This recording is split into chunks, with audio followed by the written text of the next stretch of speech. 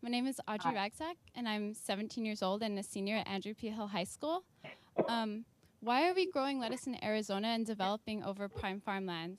On average, it takes over 1,500 miles to get from grower to supermarket.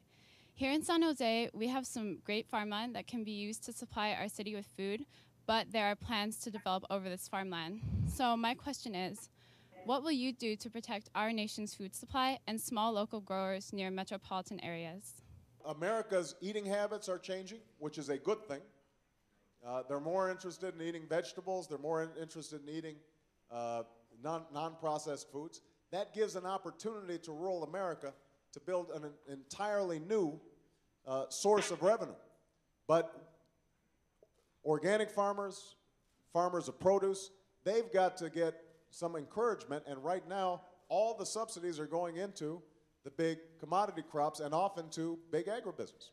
And that's why I've said I want to cap the subsidies at $250,000 because that allows us then to spread those subsidies to more small farmers. To I want to put take some of that money that would generate, by the way, at least 100 uh, million dollars annually that could then be used to support organic farming, su support product, uh, produce farming, support conservation, uh, support nutrition programs.